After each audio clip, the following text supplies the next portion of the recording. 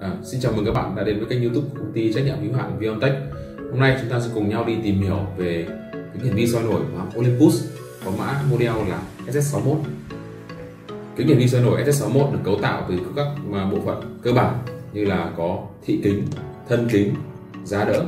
Ở đây giá đỡ của kính thì được nối liền luôn với chân đế và đặc biệt ở công ty Viontech chúng tôi sử dụng loại đèn chiếu sáng là Luna có độ sáng tốt nhất thị trường hiện nay Đối với kính hiển vi Olympus SS61 thì được trang bị với thị kính có độ phóng đại là 10x,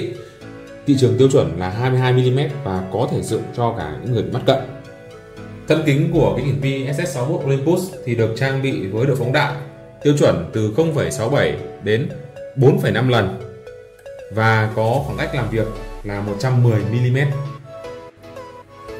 Với hệ kính SS61 của Olympus thì công ty Viontech à, trang bị với một cái giá đỡ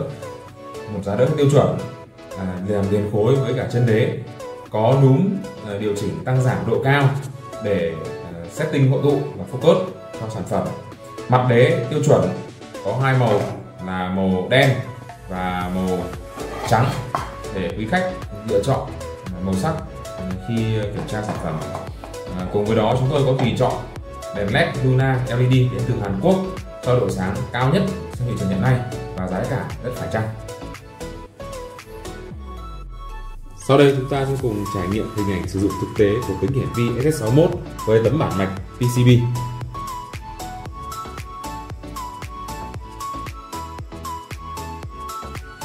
Vâng, SS61 có khả năng zoom trong khoảng từ 6,7 đến 45 lần và ở dù bất kỳ mức zoom nào thì hình ảnh cũng cho ra vô cùng là sắc nét. Khoảng cách làm việc lên tới 110 mm đi kèm thị trường 22 mm cho hình ảnh có độ rộng hơn đa số các mẫu kính hiển vi giá rẻ có trên thị trường hiện nay. Với tùy chọn đèn Luna LED Hàn Quốc, tính năng cảm ứng chạm bật tắt hai vùng điều chỉnh ánh sáng riêng biệt cho chúng ta có khả năng ờ, mở rộng sự việc sử dụng ánh sáng và cường độ ánh sáng có thể được điều chỉnh trực tiếp ở trên đèn.